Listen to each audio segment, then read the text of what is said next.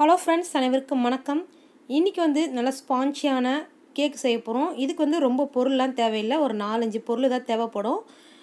இது எப்படி பண்ணுறதுன்னு பார்க்கலாம். ஃபஸ்ட்டு வந்து அரை கப்பு தயிர் எடுத்திருக்கேன். இதை ஒரு பவுலில் சேர்த்துடலாம்.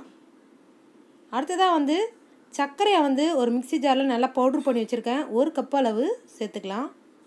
இதை நல்லா வந்து ஃபஸ்ட்டு விஸ்க் வச்சு நல்லா மிக்ஸ் பண்ணிக்கலாம். அதுக்கப்புறம் பார்த்திங்கன்னா நான் அரை கப்பு ரீஃபண்ட் ஆயில் எடுத்திருக்கேன்.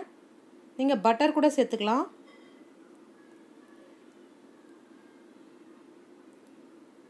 இப்போ அதே கப்புலேயே வந்து அரை கப்பு ஊற்றுறோம் பாருங்கள் பட்டர் சேர்க்குறதா இருந்தால் நீங்கள் உருக்கிட்டு ஆற வச்சுட்டு தான் சேர்க்கணும். இப்போ எண்ணெய் சேர்த்ததுக்கப்புறம் நல்லா மிக்ஸ் பண்ணி விட்டுக்கலாம். நான் இன்றைக்கி வந்து பார்த்திங்கன்னா அவனில் தான் செய்ய போகிறேன் நூற்றி எண்பது டிகிரி செல்சியஸில் ஃப்ரீ ஹீட் ஃபஸ்ட்டு பண்ணிக்கணும். ஃப்ரீ ஹீட் பண்ணோடனே மறுபடியும் நம்மளுக்கு வந்து ஒரு சவுண்டு கேட்கும். சவுண்டு கேட்டதுக்கப்புறம் இருபத்தஞ்சி நிமிஷம் வச்சு எடுத்துட்டா கரெக்டாக இருக்கும். அடுத்ததாக வந்து பார்த்திங்கன்னா இப்போ நல்லா வந்து நம்ம மிக்ஸ் பண்ணிட்டோம். ஒன்றரை கப் அளவுக்கு மைதா மாவு சேர்த்துக்கலாம். இது கூடவே ஒரு டீஸ்பூன் பேக்கிங் பவுடர் கால் டீஸ்பூன் அளவுக்கு பேக்கிங் சோடா சேர்த்துக்கலாம். அவ்வளோதான் ஃப்ரெண்ட்ஸ் இதுக்கப்புறம் நம்ம பால் ஒண்டி தான் சேர்க்கணும். இந்த மாவு ஜல்லடையில் இந்த மாதிரி ஜலிச்சு விட்டுக்கலாம். நீங்கள் ஓவன் இல்லைன்னா கடாய் வந்து வச்சுட்டு அதுக்கு நடுவில் ஸ்டீல் ஸ்டாண்டு வச்சுருங்க. மூடி போட்டு ஒரு பத்து நிமிஷம் ஹீட் பண்ணிக்கோங்க சிம்மில். அதுக்கப்புறம் வந்து நம்ம இந்த மாதிரி கலந்து அடுப்பில் நம்ம தவாவில் வச்சிட்டோம்னா ஒரு முப்பத்தஞ்சு நிமிஷம் அப்படியே குக் ஆகட்டும் சிம்மிலேயே. அதுக்கப்புறம் குச்சி விட்டு பார்த்திங்கன்னா ஒட்டாமல் வரும். அதுதான் வந்து கரெக்டான பதம். இப்போ வந்து இந்த மாவு சேர்த்தாச்சு நல்லா மிக்ஸ் பண்ணியாச்சு. காய்ச்சி ஆற வச்ச பால் இருக்குது இதையும் மிக்ஸ் பண்ணிக்கலாம். அரை கப்புக்கும் ஒரு ரெண்டு டீஸ்பூன் அளவுக்கு எக்ஸ்ட்ரா ஆகும். நல்லா ஆறின பால் தான் சேர்க்கணும்.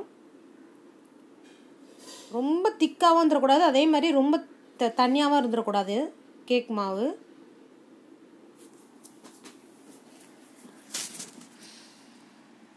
இந்த மாதிரி கொஞ்சம் கொஞ்சமாக மிக்ஸ் பண்ணி இந்த மாதிரி சேர்த்துக்கோங்க. வெனிலா எசன்ஸ் ஒரு டீஸ்பூன் அளவுக்கு சேர்த்துக்கோங்க. என்னோடய வீடியோவில் மிஸ் ஆகிடுச்சு வெனிலா எசன்ஸ் இல்லைன்னா ஏலக்காய் தூள் சேர்த்துக்கோங்க. இப்போ வந்து கேக் டின்னில் எண்ணெய் தான் வந்து அப்ளை பண்ணி வச்சுருக்கேன். இப்போ அதில் வந்து சேர்த்தாச்சு மாவை.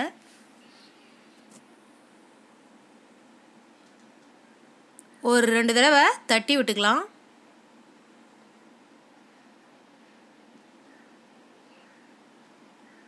இப்போ வந்து அவனில் வச்சிடுறேன்.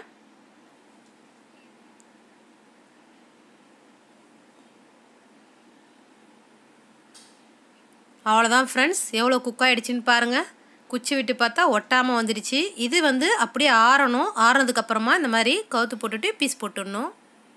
அவ்வளோதான் ஃப்ரெண்ட்ஸ் நம்ம கேக் வந்து சூப்பராக ரெடி ஆகிடுச்சு பாருங்கள் நல்லா ஸ்பாஞ்சியாக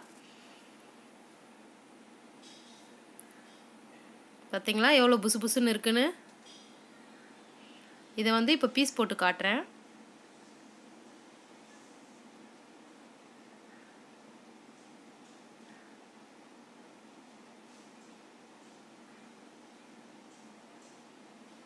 பாருங்கள் எவ்வளோ சாஃப்டாக பஞ்சு மாதிரி இருக்குன்னு.